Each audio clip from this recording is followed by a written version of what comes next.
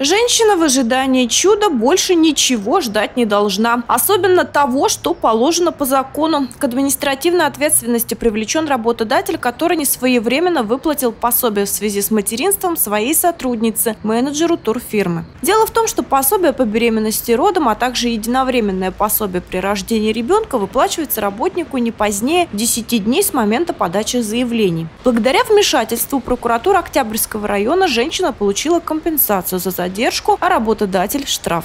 Пособие по беременности и родом а, составило а, в размере около 50 тысяч рублей, а единовременное пособие при рождении ребенка составило около 20 тысяч рублей. Указанные пособия выплачено лишь по истечении месяца со дня поступления заявления работника.